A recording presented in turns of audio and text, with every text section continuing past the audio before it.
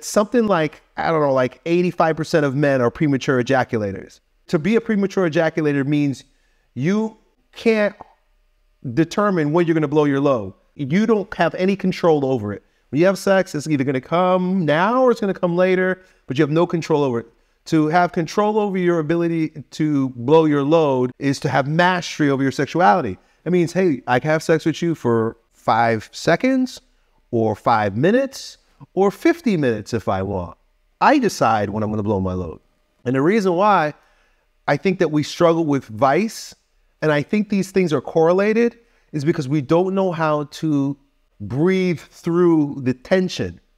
As a man, you have to know how to sit stoic with tension, which which is either, you know, the pleasurable tension of sexual intercourse or the painful tension of having a boner and wanting to blow your load but refraining from doing so, or the tension of the temptation of, you know, smoking some weed or getting drunk one day. If you can have that onslaught of pleasure while you're stroking with your wife, or that onslaught of a raging boner, but breathe through it, like just calm your mind, like when, when having sex, you have to you have to almost be a little pulled back.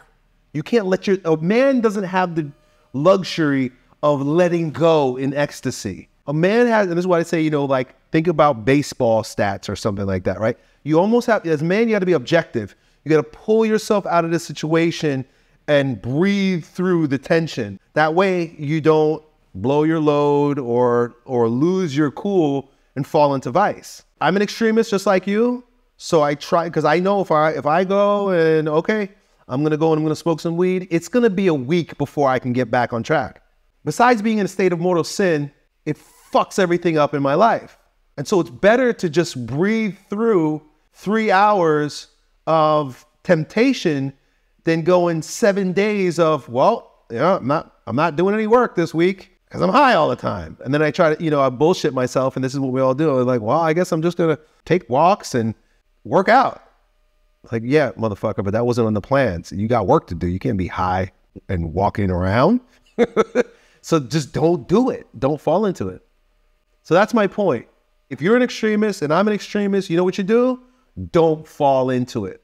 Don't allow yourself to fall into it. It's better to be in extreme discomfort for a few hours while your boner is bugging you or the demons are screaming in your ear about smoking or drinking a thing than three, four, five, seven days of a, of a bender.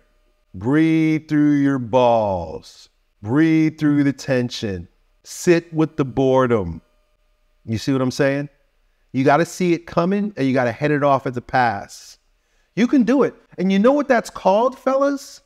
Self mastery. What more powerful thing for a man to strive towards? There's nothing more powerful.